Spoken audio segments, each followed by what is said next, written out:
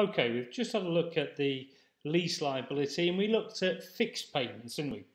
Now I want us to think about in substance fixed payments. So what does in substance actually mean? So they're fixed in substance, meaning they are variable payments, but actually they're fixed because they're unavoidable. We're going to have to pay them and so therefore it's like having a fixed payment. So you include in substance fixed payments as well.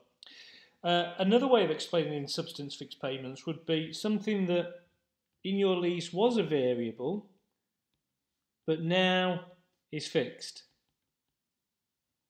Let me explain it a bit more with some examples. Here's a variable payment only if the asset is capable of operating do I have to pay it. So it's not fixed because it's variable because it depends on something happening. But look, is it capable of operating? Well, of course it's capable of operating. So that's unavoidable. And so therefore that's not actually a variable payment.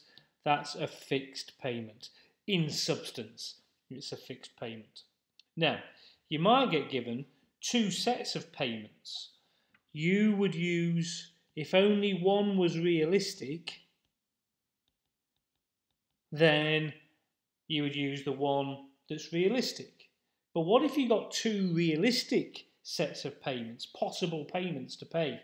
Uh, then you would use the lowest amount. Because again, you think, well, that's probably the one that will be paid. It's the one that the lessee will try to pay. Okay, so just to recap then, lease liability, fixed payments definitely have to include that in the present value of our lease payments. We also have to include any in substance fixed payments. And then now what we're going to go on to after that is variable payments.